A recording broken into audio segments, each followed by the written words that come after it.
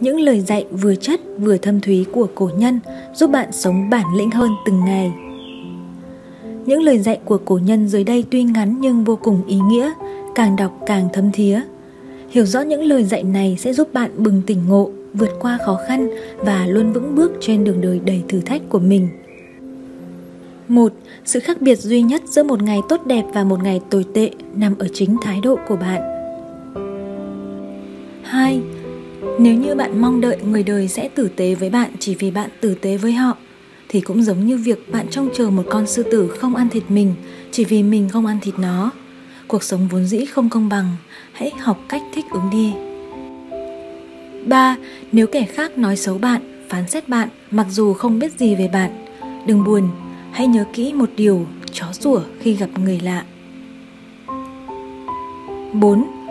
Nếu có một ai đó làm chậm bước chân của mình, hãy nhẹ nhàng rẽ sang hướng khác. Người không biết quý trọng mình không đáng để mình tiếp tục cho đi tình bạn hoặc tình yêu, vì cuối cùng người bị tổn thương nhiều nhất sẽ là mình mà sẽ không có ai xót xa cho mình.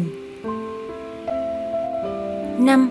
Giống như hoa dại, hãy học cách sinh tồn trong mọi hoàn cảnh khắc nghiệt nhất, ngay cả khi người đời cho rằng bạn không thể. 6. Cuộc sống chính là một sàn diễn lớn. Diễn viên chính hay phụ chẳng qua chỉ là tên gọi mà thôi. Vì mọi người chỉ quan tâm đến kỹ thuật diễn của bạn, đương nhiên rất cần bạn đem sự nhiệt tình đến cho họ. 7. Đừng bao giờ giao bí mật của bạn cho một ai, bởi vì tự bạn còn không giữ được thì còn trông mong vào ai kia chứ. 8. Sân khấu có lúc giống như cuộc đời, điều bất chắc thoáng đến thử thách năng lực ứng biến của con người. Loại năng lực này được tích lũy từ kinh nghiệm của cuộc sống. 9. Khi cuộc sống dồn bạn vào bước đường cùng, đừng hỏi tại sao lại là tôi, mà hãy nói rằng cứ thử tôi đi. 10. Việc đời khó đoán, người đối với người cũng vô thường, ai biết trước tương lai sẽ như thế nào. 11. Khi người ta cố gắng khoa trương để gây sự chú ý của người khác thì trái lại càng làm cho người khác không nhìn thấy cái mình muốn phô trương. 12. Người có kiến thức thì đi biển mới biết thế nào là sóng yên gió lặng. Người có kinh nghiệm qua gian nan và nguy hiểm mới biết bình an là đáng quý. 13. Hãy ghi nhớ điều này khi chia tay nhau, đừng bao giờ nói xấu người cũ mà hãy luôn luôn nói tốt về họ Giả sử nếu họ quá xấu thì cũng đừng nên nói gì. 14. Kinh nghiệm thương trường của những người thành công đã cho thấy đừng bao giờ tin vào quảng cáo mà hãy tin vào giá tiền thực sự của mặt hàng đó. 15. Trong cuộc sống, bạn tuyệt đối đừng bao giờ tranh luận với kẻ có địa vị và kiến thức thấp hơn mình. 16. Sống trong đời phải hiểu thế nào là cao cấp, mặc dù suốt đời không có tiền mua những thứ để thể hiện đẳng cấp đó. Hãy luôn luôn nhớ rằng nếu không cao về tài sản, hãy cao về thẩm mỹ. 17. Muốn thử một cô gái, hãy dẫn cô ta vào cửa hiệu vì lòng tham là thứ khó giấu nhất trên đời. 18. Người xưa dạy rằng chỉ đánh nhau khi biết chắc mình có thể thắng hoặc hòa.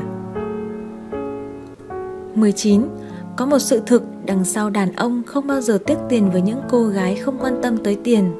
Do vậy, nếu là người phụ nữ khôn ngoan thì hãy tỏ ra mình không quan tâm tới tiền, các bạn nhé. 20.